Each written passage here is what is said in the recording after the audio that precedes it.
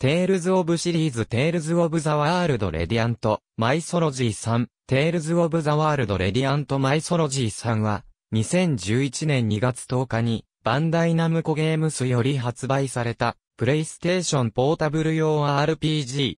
テー。ルズ・オブシリーズの一つ。シリーズキャラクターが作品を超えて共演するテールズ・オブ・ザ・ワールド・レディアント・マイソロジーシリーズの第3作でレディアント・マイソロジーシリーズは本作をもって完結となる。シリーズからキャラクターが多数ゲスト出演する作品。前作、テールズ・オブ・ザ・ワールド・レディアント・マイソロジー2の1.6倍になる80人以上が登場し、そのうち操作可能なキャラクターは77人。前作でゲスト出演したシリーズキャラクターは本作にも全員登場する。空を飛ぶ船、バンエルティア号を拠点とし、ダンジョンに潜りクエストをこなすことでゲームは進行する。クエストは依頼人から、モンスターを一定数倒す、アイテムを一定数納品するなどの依頼をこなし、アイテムやガルドを手に入れるというもの。バンエルティア号内にいる、歴代キャラクターから直接受諾する、個人クエストが、前作から大幅に増えている。また、条件を満たすことで一部の歴代キャラクターを仲間に加えるためのお迎えクエストが発生する。ワールドマップからダンジョンを選ぶことでダンジョンに入れる。ダンジョンマップの視点は見下ろし型になり、ギミックも導入されている。また、シリーズ作品をモチーフとしたダンジョンがあり、原作での BGM が使用されている。ダンジョン内には生産、料理に必要なアイテムを入手するためのオブジェが存在し、調べることでそれらのアイテムを手に入れることができる。前作までは入手するためには専用のアイテムが必要だったが、本作ではオブジェを調べるだけで手に入る。新たに、ロード時間を短縮するデータインストール機能が搭載され、前々作、テールズ・オブ・ザ・ワールド・レディアント・マイソロジー、前作、テールズ・オブ・ファンタジアなりきり、ダンジョン X のセーブデータ引き継ぎによる特典もある。パーツのパターンは前作よりも増加し、身長や体型も変えられるようになった。クリア後に可能となるキャラクターリメイクでは、シリーズキャラクターの声優が担当キャラクターとは異なるイメージで演じたヒーローボイスが使用できるようになる。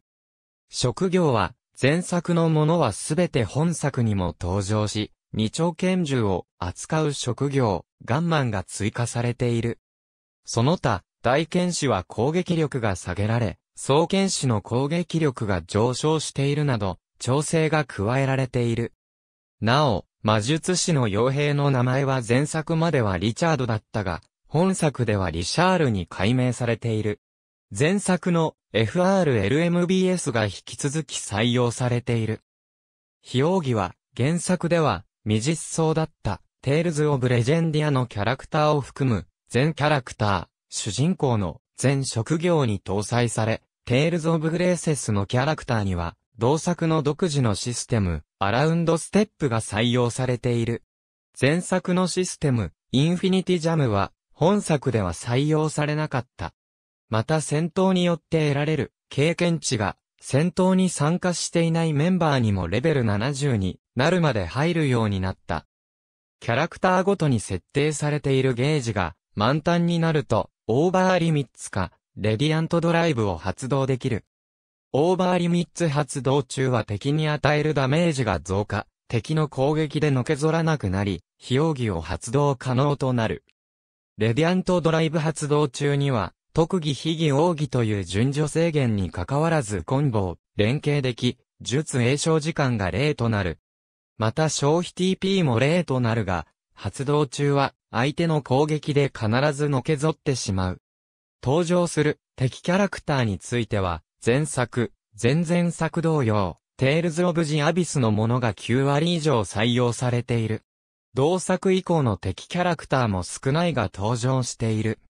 ある武具のスキルを他の武具に合成することができる。スキルの元となった武具は合成後消滅する。強化はモンスターが落としたり、採取によって手に入る素材を消費することで行える。武具の能力値を上昇させる。どちらの場合も武具に設定されている強化回数が例になるまで行える。生産はレシピに書かれた必要な複数のアイテムを使用し、新たなアイテムを作り出すシステム。前作から大幅に改良され、一度に何個でも作れるようになり、作成に失敗することもなくなった。料理は、レシピに書かれた複数の食材を使用し、料理効果をパーティキャラクターに付与するシステム。能力値の上昇や獲得ガルド増加などの効果がある。本作では、ダンジョン内で実行した料理の効果がダンジョン脱出時まで続くようになっている代わりに、HP が回復するといった効果のものは存在しない。前作と異なり PC、PSP 両方で接続、可能。自分で作った主人公を傭兵としてサイトにアップしたり、他人の傭兵を雇うなどのことが可能。ダウンロードアイテムも存在するが、ダウンロードの際に自分の傭兵がダウンロードされたり、ゲーム本編で手に入る称号の数に応じて、手に入る、マイソロマイルを消費する。2012年9月のメンテナンスをもって、ダウンロード専用サイトとなり、アップロードと他人の傭兵がダウンロードできなくなった。また、2015年3月をもって、連動サービス自体が終了した。中心に、巨大な木、世界樹がそびえ、生命エネルギー、マナを発する鉱物、聖書によって繁栄している世界、ルミナシア。しかし大国による聖書をめぐっての紛争が相次ぎ、さらに聖書の枯渇や大国による村々の支配が問題となっている。紛争から人々を救おうと思い立った人物たちによるギルド、アドリビトムに所属する少女カノンノの前に、ある日記憶喪失の主人公が現れる。アドリビトムに迎えられた主人公は記憶が戻るまでアドリビトムで働くこととなる。主人公がアドリビトムで働く中、聖書の枯渇した地域で赤い煙が発生し、周囲の環境が変化するという現象が起こる。調査の結果、赤い煙が生物、無機物など、あらゆる物質の設計図であるドクメントを侵食し、ある物質を全く別の物質に変化させているということが判明する。ドクメントを侵食することで人の情報を得た赤い煙は人の形をとり、自らを生まれるはずだった世界ジルディアの一部、ラザリスと名乗る。そして、主人公は、世界が危機に陥った時に、世界樹が生み出す分身、ディセンダーであることが明らかとなる。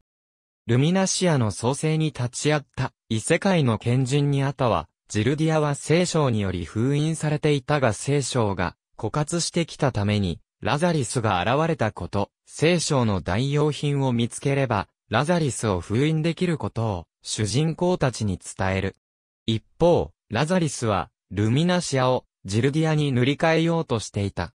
世界が変化すると、すべての人が赤い煙に侵された生物のようになるか、変化に適応できず死ぬこととなる。この危機に争い合っていた、世界中の人々が協力し、聖書の代用品となるドキュメントが完成する。主人公は、ラザリスを説得するが、創造は罪であり欲であるとする、ラザリスと、創造から、喜びが生まれるとする主人公は相入れず戦闘となる。戦いの末に、主人公は、ラザリスを倒し、共に、世界中へと帰っていく。ルミナシアとジルディアは互いに体をなす兄弟のような、世界である。ジルディアは誕生しないまま消えるだけの世界のはずだったが、共存を望んだルミナシアの世界樹が自らに取り込んだ。ルミナシアとは、根本的に理が違うためそのままでは共存できず、環境が整うまでの間は、と聖書で包まれ封印された。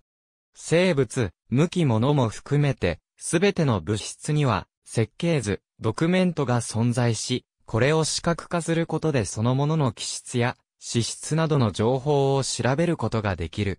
さらに細かく調べることもできるが、物質には大きな負荷がかかるため危険。魔術発動の基盤となる事象でもある。食事などで物質を取り込むとドクメントも同化し、これを見たカノンのは、ドクメントを命と表現した。ドクメントを利用してあらゆるものを生み出すことができる、創生の力、ソウルアルケミーという技術があり、現在は失われているが、光気丹術という名称で一部に伝わっている。は、本作で、新規参戦したことを、は、加入が任意であることを意味する。開発は、アルファシステムで、ナムコテールズスタジオが、制作協力として参加。登場キャラクターは、前作発売後のウェブアンケートを元に決めている。キャラクターの秘奥義のカットインイラストは、テールズ・オブ・シンフォニア・ラタトスクの、騎士マイナスと、テールズ・オブ・グレイセスは、オリジナルの作画監督が描き下ろし、それ以外は、松竹徳幸が担当。また松竹は、作中アニメーションムービーの作画監督も務める。テールズ・オブ・レジェンディアのキャラクターが多数登場しているが、これは統括プロデューサーの吉積氏に曰く、もっとスポットを当てようということや、プロジェクトに、テールズ・オブ・レジェンディアのスタッフが数名いたため、BGM は前作に引き続き中村和宏、桜庭統、椎名剛が担当している。曲の内訳は中村が、不明、桜庭が、デフォルトの戦闘曲5曲、椎名が、ラストダンジョンの曲1曲となっている。主題歌は、 BACK-ON の、 with you featuring Me、流れ星。2010年8月に行われた、テールズ・オブ・シリーズ2010年度ラインナップ発表会で発表された。予約特典は、ゲーム本編以前の物語を描いた漫画、始まりの奇跡と、作中のムービーとカットインのアニメフィルムで作成されたしおり、週刊ファミ通のクロスレビューでは40点満点中35点を得た。発売初週には217,668本を販売し、前作とほぼ同じ出足を見せた。ゲームウォッチは前作から強化されたシステムを紹介し、シリーズファンでなくとも楽しめるゲーム性、ファンディスクの一言では片付けられないと評価した。2011年2月8日に配信開始された携帯電話用アプリ、レディアントマイソロジーシリーズをベースとしたソーシャルゲームで、レディアントマイソロジー3との連動要素がある。ビバ、テールズ・オブ・マガジンボリューム1から2013年9月号まで連載。作画担当は前作と同じく終わり行。